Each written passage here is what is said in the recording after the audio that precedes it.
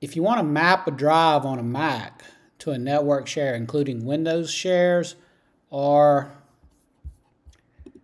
a share on a Synology or whatever ever other type of device, click on your desktop or something first to make sure that your Finder, that you see Finder here instead of uh, an application like your browser or Microsoft some Word or whatever.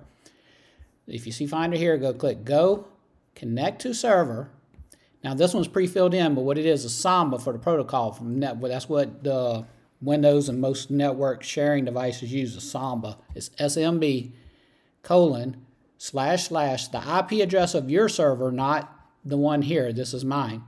Slash and then the file share. If you leave this last part off, it'll usually pop up a window with everything available on that server.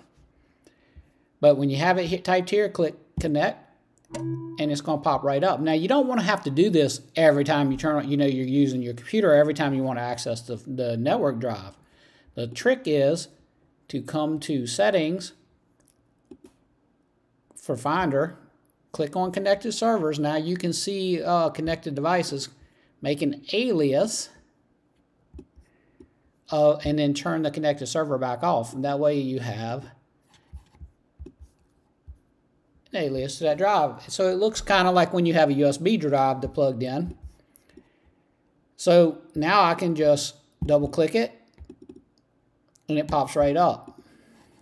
Double clicking it pops right up. This is actually sitting file sitting on a Windows computer in the other side of the building. Uh, if you reboot the computer, it won't pop instantly like this. It might take 10 or 15 seconds the first time you start it while it makes reestablishes the connection. It's really just that simple.